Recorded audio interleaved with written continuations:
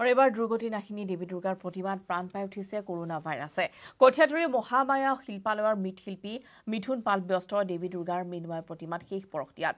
চল্লিছ বছৰীয়া পুৰণি প্ৰতিষ্ঠানখনে এইবাৰ মা দুৰ্গাৰ মৃন্ময় মূৰ্তিৰ লগতে কৰোণা ভাইৰাছক লৈ নিৰ্মাণ কৰিছে মূৰ্তি।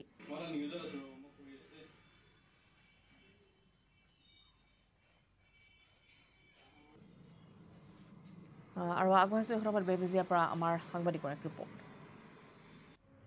হয় শাৰদীয় দুৰ্গোৎসৱলৈ মাজত মাথো দুটা দিন বাকী। ইতিমধ্যে মা দুৰ্গাৰ দেৱীৰ যি মূৰ্তি সেই মূৰ্তিত শেষ পৰ দিয়াত ব্যস্ত হৈ পৰিছে মৃৎশিল্পীসকল মই বৰ্তমান উপস্থিত আছোঁ নগাঁও জিলাৰ কঠীয়াতলীৰ মহামায়া শিল্পালয়ত। আৰু মহামায়া শিল্পালয়ৰ যি মৃৎশিল্পীসকল আছিল সেই মৃৎশিল্পীসকলো বৰ্তমান ব্যস্ত হৈ পৰিছে মা দুৰ্গা দেৱীৰ মূৰ্তিত শেষ পৰহ দিয়াত মোৰ সতীৰ্থ সমগ্ৰ ইয়াৰ পৰিৱেশ দেখুৱাব মই ইয়াতে বৰ্তমান যি মহামায়া শিল্পালয় সেই মহামায়া শিল্পালয়ত আহি উপস্থিত হৈছোঁ। ইতিমধ্যে ইয়াৰ যিসকল মৃৎশিল্পী আছে সেই মৃৎশিল্পীসকলে তেওঁলোকৰ তেওঁলোকে যি দু মা দুৰ্গা দেৱীৰ মূৰ্তি নিৰ্মাণ কৰিছে সেই মূৰ্তিত তেওঁলোকে শেষ পৰহ দিয়াত ব্যস্ত হৈ পৰিছে যিহেতু সোমবাৰৰ পৰা পূজা আৰম্ভ হ'ব আৰু তেওঁলোকে বৰ্তমান শেষ পৰহ দিয়াত ব্যস্ত হৈ পৰিছে।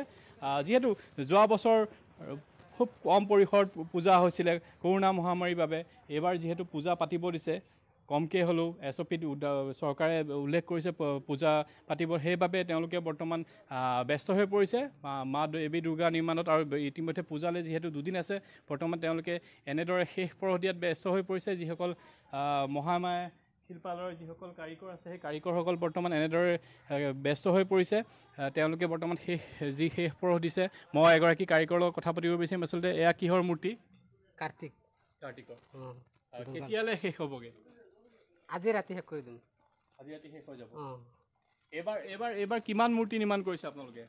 দহখন বনাইছোঁ। দহখন বনাইছে? অঁ। বৰ্তমান আৰু কিমান বাকী আছেগে? দহখনেই আছিল চুলি আকৌ বাকী আছে আৰু একো নাই।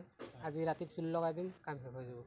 হয় এগৰাকী এগৰাকী কাৰিকৰ আৰু মই যি মহামায়া শিল্পালয়ৰ মূল কাৰিকৰ সেই মূল কাৰিকৰ গৰাকীৰ ওচৰলৈ এপাক যাব বিচাৰিম।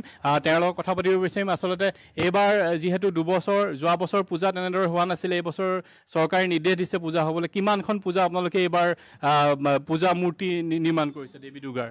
এবাৰ মা দেৱী দুৰ্গা প্ৰতিমা আমি দখন নিৰ্মাণ কৰিছোঁ। ইয়াৰ কিমান কৰিছে? দহখন। দহখন কৰিছে। দহখন নিৰ্মাণ কৰিছোঁ। যোৱা যোৱাবাৰ কিমানখন কৰিছিলে? যোৱাবাৰ আমি খালি মন্দিৰত পাঁচখন মন্দিৰ আছিলে আমাৰ কঠীয়াতলীত পাঁচখন মন্দিৰত নিৰ্মাণ কৰিছিলোঁ যোৱাবাৰ। এইবাৰ যিহেতু অলপ ভাল হৈছে চাগে? এইবাৰ অলপ ভাল হৈছে। আগৰ নিচিনা তথাপি হোৱা নাই? আগৰ নিচিনা হোৱা নাই। আগতে আমি দুৰ্গা দেৱী বনাইছিলোঁ ত্ৰিছখন এইবাৰ বনাইছোঁ দহ দহখন বিছখনে কম বনাইছোঁ। আপোনালোকে কিমান উচ্চতাৰ এইবাৰ কিমান উচ্চতালৈকে বনাইছে? সাত ফুট? সাত ফুট। সাত ফুট উচ্চতাৰ বনাইছোঁ। পাঁচ ফুট আছে সাত ফুট আছে। যিহেতু পূজালে মাত্ৰ দুদিন আছে মাজন মাথো। এতিয়া এতিয়া কিমান শতাংশ কাম বাকী আছে আপোনালোকৰ? আমাৰ কালি দিনটো কাম কৰিলে চেচ হৈ যাব বাকী আছে চুলি লগাবৰ কাৰণে আৰু মুকুট লগাবৰ কাৰণে। কালি দিনটো কাম কৰিলে চেচ হৈ যাব। আপোনালোকৰ এইখন যিখন মহামায়া শিল্পালয় কিমান বছৰ হ'ল আচলতে? আমাৰ দোকানখন চল্লিছ বছৰৰ ওপৰতে হ'ল। চল্লিছ বছৰৰ ওপৰত। আমি আৰু এটা বস্তু মোৰ সতীৰ্থই দেখুৱাব ইয়াতে দেখিবলৈ পাইছোঁ যে ইয়াতে যিহেতু আৰু দুবিধমান মূৰ্তি আচলতে বনোৱা হৈছে আপোনাক সুধিব বিচাৰিম এই কিহৰ মূৰ্তি আচলতে এই যি বনাইছে এইটো কিহৰ মূৰ্তি বনাইছে? এইটো বনাইছোঁ মহামাৰী কৰোণা বেমাৰৰ প্ৰতিমা কমিটিয়ে বনাব দিছে ৰাইজক আহ্বান জনাইছোঁ আপোনালোকে ভেকচিন লওক সাৱধানে থাকক মাস্ক লগাব আৰু পূজা চাব। দুৰ্গা পূজাত যিমানে চমু চাপিছে সিমানে গ্ৰাহকৰ ভিৰ বাঢ়িছে এতিয়া কাপোৰৰ বজাৰত। বিগত বৰ্ষত কভিডৰ বাবে উল্লাস উদ্দীপনাৰে পূজা অনুষ্ঠিত হোৱা নাছিল কিন্তু এইবাৰ দুৰ্গোৎসৱক লৈ ৰাজ্যৰ মাজত দেখা গৈছে ব্যাপক উৎসাহ। উৎসৱৰ বতৰত এযোৰ নতুন পোছাক ক্ৰয় কৰিবলৈ গ্ৰাহকৰ ভিৰ দেখা গৈছে ৰঙাপৰা কাপোৰৰ বিপণীত। ধনেশ্বৰৰ এক ৰিপৰ্ট। শাৰদীয় দুৰ্গা পূজালৈ মাজত মাত্ৰ দুটা দুটা দিন। আৰু বৰ্তমান ৰঙাপাৰাৰ বজাৰ বজাৰত কিন্তু এতিয়া গ্ৰাহক ওলাই অহা দেখিবলৈ পোৱা গৈছে।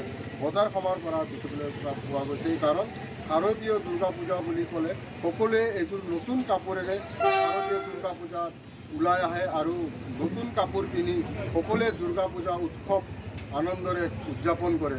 মই কেমেৰা পাৰ্চনে দেখুৱাইছে এখন মই বিপিনীত আছোঁ। নিউ ফেশ্বন নামৰ এইখন বিপিনীত মই বৰ্তমান উপস্থিত আছোঁ। এনেদৰে কিন্তু এতিয়া গ্ৰাহক অহা দেখিবলৈ পোৱা গৈছে আৰু বিপিনীখনত এনেদৰে গ্ৰাহকে ভিৰ কৰা দেখিবলৈ পোৱা গৈছে। কাৰণ শাৰদীয় দুৰ্গা পূজাৰ যিহেতু মাজত দুটা দিন আছে আৰু এনে দুটা দিন থকা সময়তে কিন্তু এতিয়া ৰাইজ এনেদৰে শাৰদীয় দুৰ্গা পূজাত ওলাই আহিছে। এইযোৰ নতুন কাপোৰেৰে তেখেতসকলে হয়তো এইবাৰ যি শাৰদীয় দুৰ্গা পূজা শাৰদীয় দুৰ্গা পূজা উদযাপিত কৰিব। কাৰণ যোৱা বছৰ যিহেতু দুৰ্গা পূজা উদযাপিত নহ'ল যাৰ বাবে এইবাৰ কিন্তু লোক এনেদৰে ওলাই অহা দেখিবলৈ পোৱা গৈছে আৰু এনেদৰে কাপোৰৰ বিপণীসমূহত ভিৰ কৰা দেখিবলৈ পোৱা গৈছে। মোৰ সৈতে নিউ ফেশ্বনৰ স্বত্বাধিকাৰী আছে। মই স্বত্বাধিকাৰীজনৰ পৰা এই ক্ষেত্ৰত জানিবলৈ চেষ্টা কৰিম কি ক'ব তেখেতে কেনেধৰণৰ ব্যৱসায় বা বিক্ৰী কেনেধৰণৰ হৈছে? হয় আপোনাৰ বিক্ৰী কেনেকুৱা হৈছে? এইবাৰ বিক্ৰী মানে আগত দুদিন আগত নাছিলে বাৰু। এতিয়া মোটামুটি গ্ৰাহক আহি আছে দোকানত। যোৱাবাৰ মানে ইমান ভাল নাছিলে এইবাৰ মোটামুটি এতিয়া তিনি চাৰিদিন আছে কাষ্টমাৰ এতিয়া কণ্ট্ৰলত আহি আছে। মোটামুটি ঠিক আছে বজাৰ এতিয়া হা। আগত মানে তিনি চাৰিদিন খালী আছিলে এতিয়া কাষ্টমাৰ আহি আছে নেট ব্যৱসায়ীয়ে কিবা প্ৰভাৱ পেলাইছে নেকি অলপ লেট মানে অনলাইনৰ কিবা আছে বাৰু হা ইমান লেকিন ইমান প্ৰভাৱ পৰা নাই মোটামুটি। আমাৰ যোনে চিনে কাপোৰৰ মানে হেৰি আছে চব আহি আছে। আৰু ইয়াৰ লগতে সময় আছে এতিয়া বাতৰিৰ পৰা বিদায় লোৱাৰ। নমস্কাৰ। মই ব্যৱহাৰ কৰোঁ আটাইতকৈ সবল আৰু সতেজ চিমেণ্ট।